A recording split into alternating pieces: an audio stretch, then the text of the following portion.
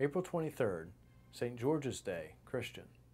Nothing of George's life or deeds can be established, but tradition holds that he was a Roman soldier who was tortured and decapitated under Diocletian's persecution of Christians in 303 CE.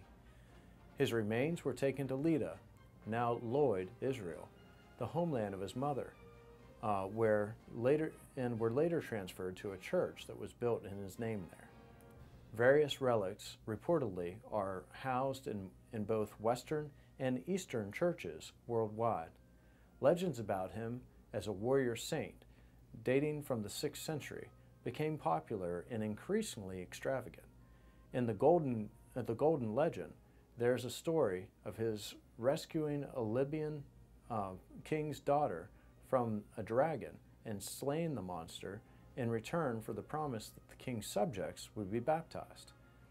George's slaying of the dragon may be a Christian version of the legend of Perseus, who was said to have rescued Andromeda from the sea monster in Lydda.